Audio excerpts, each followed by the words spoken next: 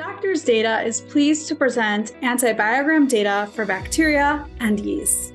This antibiogram data serves to aid in clinical decision making and evaluates antimicrobial resistance trends. Antibiograms provide data which serves to minimize resistance, toxicity, and adverse drug reactions. There are two antibiograms, one for bacteria and one for yeast. This data was collected during 2022 and comprises 10,000 samples. The data includes prescriptive and natural agents as applied to bacteria and yeast. The data is represented as a percentage of all samples tested that were susceptible to that agent. As you will see here, the bacteria antibiogram represents 14 bacteria, with prescriptive agents as percentage susceptible and natural agents as percentage highly sensitive. You can look at individualized organisms that may be cultured in your patient's report, as well as take note of antimicrobial resistance trends. As you will see, each organism has a unique profile. As you will see here, the organisms are listed in order, starting with Aeromonas. With regards to the Aeromonas, ampicillin, you will see 0% of the samples tested were susceptible, whereas 99% of the samples tested were susceptible to ciprofloxacin.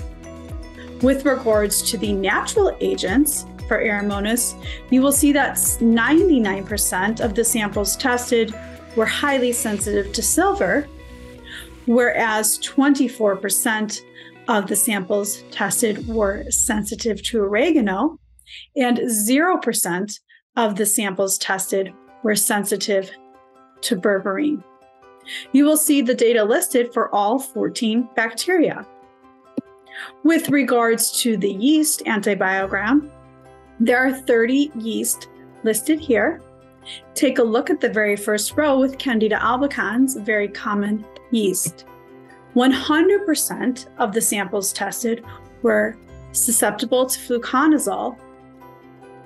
Now take a look further down at the Candida krusei, and you will see that 0% of the samples tested were susceptible to fluconazole.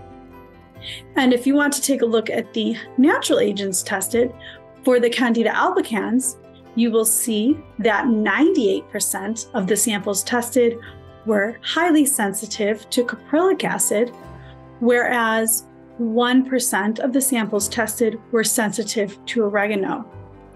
With regards to the Candida krusei, you will see that 81% of the samples tested were highly sensitive to caprylic acid, whereas 3% of the samples tested were highly sensitive to oregano.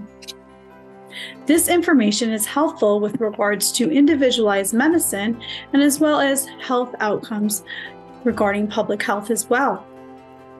The antibiogram data for bacteria and yeast provide clear and reliable information in assisting clinical selection of empiric antimicrobial therapy, and this is associated with improved clinical outcomes please visit www.doctorsdata.com to take a look at the antibiograms for yourself.